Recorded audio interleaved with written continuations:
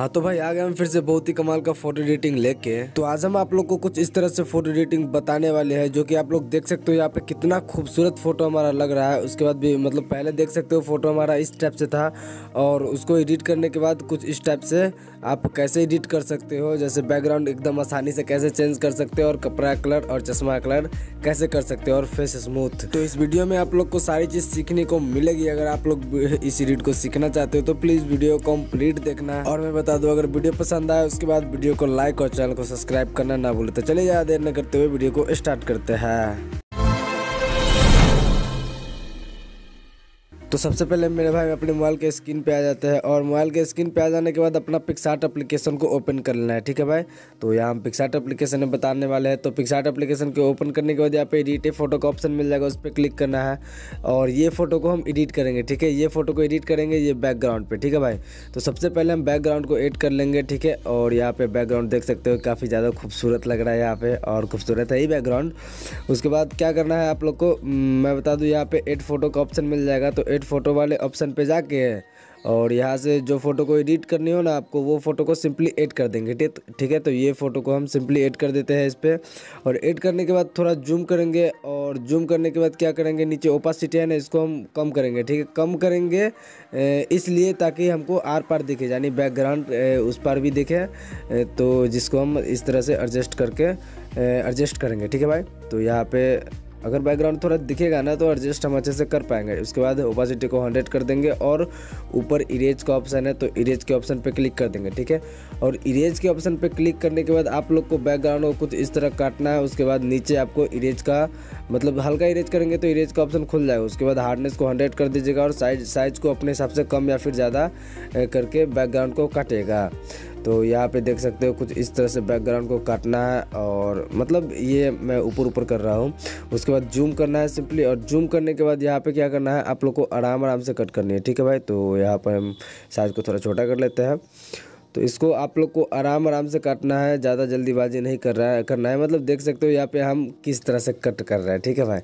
तो यहाँ पे आप लोग को ज़्यादा जल्दीबाजी नहीं करना है एकदम आराम आराम से करना है आपको क्योंकि जितना आराम से करेंगे और जितना अच्छा कटा रहेगा बैकग्राउंड ना उतना बेटर लगेगा दिखने में उतना रियल रिय, रियल वाला फील होगा फ़ोटो में। ठीक है भाई तो चलिए हम थोड़ा जल्दी जल्दी में कर लेते हैं आप लोग ध्यान से देखते रहे वीडियो को।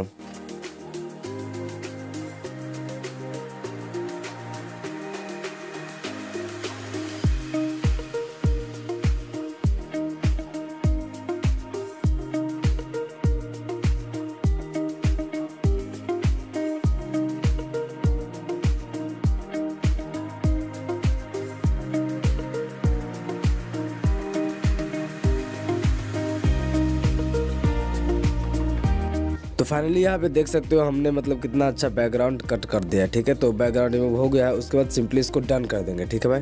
और डन करने के बाद क्या होगा कि बैकग्राउंड पे ये फ़ोटो सेव हो जाएगा, उसके बाद देख सकते हो यहाँ पे बैकग्राउंड मतलब जितना अच्छा से काटिएगा, बोला था ना, उतना अच्छा दिएगा फ़ोटो उसके बाद क्या करना है, आप लोग को फिर से एड फ़ोटो वाले ऑप्शन में जाना है और यहाँ बैकग्राउंड पर जाएँगे, ठीक है? अब क्या करेंगे हम मतलब जो कपड़ा है ना, उसको मतलब उसका कलर चेंज करेंगे तो ये कलर वाले ऑप्शन पे जाएँगे और यहाँ से जो बैकग्राउंड का कलर है, वो कलर यहाँ से उठा लेंगे, ठीक है भाई? जैसा बैकग्राउंड का कलर मैच करना चाहिए उसके बाद सिंपली इसको ऐड कर देंगे।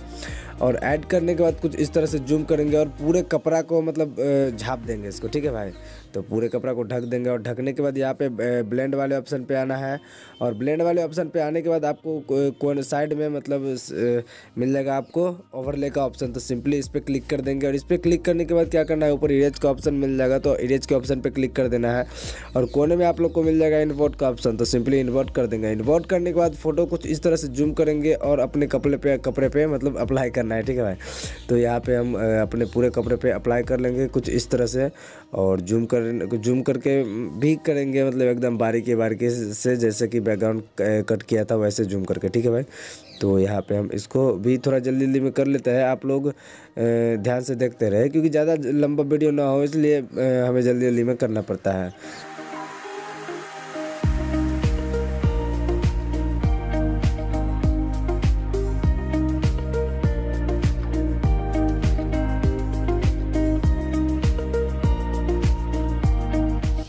तो यहाँ पे कपड़ा का भी कलर चेंज हो चुका है। मतलब बैकग्राउंड से मिलता जुलता काफ़ी मैच हो रहा है ठीक है भाई?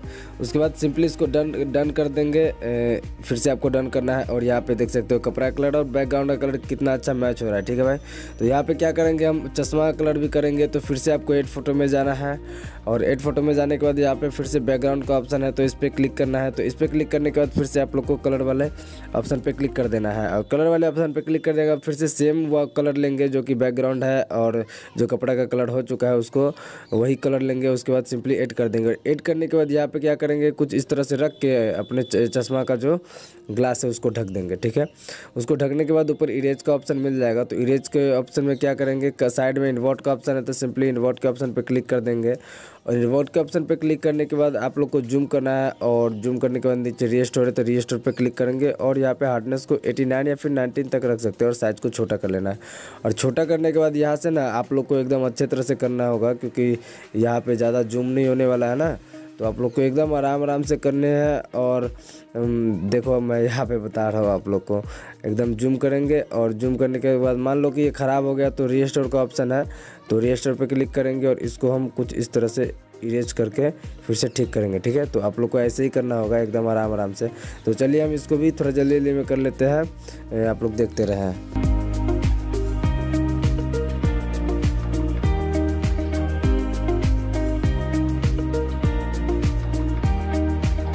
तो फाइनली मेरे भाई देख सकते हो, यहाँ पे फ़ोटो हमारा अब तक कितना शानदार लग रहा है। ठीक है भाई तो उसके बाद क्या करना है, आप लोग को डन कर देना है। और डन करने के बाद देख सकते हो चश्मा का भी एकदम कलर एकदम अच्छे तरह से हो चुका है। उसके बाद डन कर दिए। उसके बाद यहाँ पे टूल्स वाले ऑप्शन में आना है। आप लोग को टूल्स वाले ऑप्शन पे क्लिक करना है। उसके बाद एडजस्ट वाले ऑप्शन पे क्लिक करेंगे, ठीक है? और एडजस्ट पे क्लिक करने के बाद अगर ब्राइटनेस कम रहेगा तो इसको हम बढ़ा या फिर घटा सकते हैं। अगर ज़्यादा रहे तो घटा सकते हैं। उसके बाद कॉन्ट्रेस्ट को हम थोड़ा बढ़ा देंगे। प्लस सेवन तक उसके बाद क्लियरिटी को भी हम ले लेंगे। फाइव या फिर सिक्स या फिर सेवन तक। उसके बाद सिंपली डन कर देंगे, ठीक है भाई? और डन करने के बाद यहाँ पे देख सकते हो फ़ोटो हमारा एडिट हो चुका है, उसके बाद सेव करेंगे। और सेव करने के बाद क्या करेंगे कि एक छोटा सा काम करेंगे इस फ़ोटो में, जो कि स्नैपसीड एप्लीकेशन में, ठीक है? तो गैलरी में जाएँगे, जो फ़ोटो को सेव हुआ रहेगा उसको, यहाँ से गैलरी से शेयर कर देंगे स्नैपसीड एप्लीकेशन के अंदर, ठीक है भाई? तो आप लोग यहाँ पे ध्यान से समझ लो। तो स्नैपसीड एप्लीकेशन में हम इसको शेयर कर दिए और उसके बाद यहाँ पे छोटा सा काम है मतलब एक ही काम है, ज़्यादा काम नहीं है इसमें। तो यहाँ पे टूल्स वाले ऑप्शन सॉरी ये पॉप वाले नहीं, ये टूल्स वाले ऑप्शन तो टूल्स वाले ऑप्शन पर क्लिक करना है आप लोग को। और यहाँ से सिलेक्टिव वाले ऑप्शन पर क्लिक करेंगे, ठीक है भाई? और फ़ोटो को कुछ इस तरह से जूम करेंगे जो हमारा फेस का एरिया होगा ना जहाँ पे डार्क सा लग रहा है उसको हाथ को घिसते हुए कुछ इस तरह से लाना है और यहाँ पे रखेंगे ठीक है? उसके बाद साइज़ को इसको छोटा कर देंगे ठीक है? साइज़ को कुछ इस तरह से छोटा कर देंगे और इसको राइट कर रा, हाथ को मतलब राइट घिसते हुए इसको ब्राइटनेस को बढ़ा लेंगे वहाँ पर ठीक है? उसके बाद फिर से आपको नीचे प्लस का आइकन दिख रहा होगा तो उस पर क्लिक करना है। उसके बाद फिर से आपको वही एक मिलेगा तो जहाँ जहाँ पे आपको मतलब डार्क वाला एरिया लगेगा ना वहाँ वहाँ पर ब्राइटनेस को बढ़ा दीजिएगा। ठीक है भाई? तो फिर से आप मतलब यही करना है। मतलब आप जितना बार कर सकते हो, कोई दिक्कत नहीं है। आप लोग को, आपके मतलब फ़ोटो पे, जहाँ पे डार्क एरिया लग रहा है बॉडी के जो पार्ट दिख रहा है, वहाँ पे, वहाँ वहाँ पे आप लोग इसको अप्लाई कर सकते हो। तो जैसे कि मैं देख रहा हूँ, यहाँ पे कितना जगह पे कर रहा हूँ। तो ये करने से ना, हमारा फ़ोटो मतलब काफ़ी ज़्यादा वाइट भी हो जाएगा और थोड़ा सा स्मूथ भी हो जाएगा। ठीक है भाई? तो यहाँ पे हम इसको भी बढ़ा देते हैं। उसके डन कर लिए और देख सकते हो यहाँ पे बिफोर आफ्टर तो यहाँ पे कितना अच्छा फेस स्मूथ और फेस वाइट हुआ है। ठीक है भाई? उसके बाद फाइनली हमारा फोर एडिट कंप्लीट हो चुका है। इस फ़ोटो को सेव करने के लिए सिंपली शेयर वाले ऑप्शन पर क्लिक करेंगे तो डायरेक्ट गैलरी में ही सेव हो जाएगा। तो फाइनली मेरे भाई फ़ोटो एडिट हमारा हो चुका है कंप्लीट और मैं बता दूँ, अगर आप लोग को समझ में ना आई हो कोई भी चीज़ तो मुझे कमेंट बॉक्स में बताएँ। मैं वहाँ से आप लोग को रिप्लाई करके बता दूँगा। तो कुछ इस तरह का फ़ोटो एडिट करने के लिए एकदम यही प्रोसेस था, जो कि मैंने आपको लोग को आसान तरीका से बताया है। तो अगर आप लोग वीडियो को अच्छा से देख ले या फिर अच्छा है समझ ले तो ज़्यादा टाइम नहीं लगने वाला इस तरह का फ़ोटो एडिट करने में। तो मेरे भाई, अगर वीडियो पसंद आई हो तो वीडियो को लाइक और चैनल को सब्सक्राइब करना ना भूले। तो दीजिए अपने भाई को इजाज़त। मिलते हैं नेक्स्ट धमाकेदार वीडियो के साथ। तब तक के लिए बाय जय हिंद। टेक केयर दोस्तों।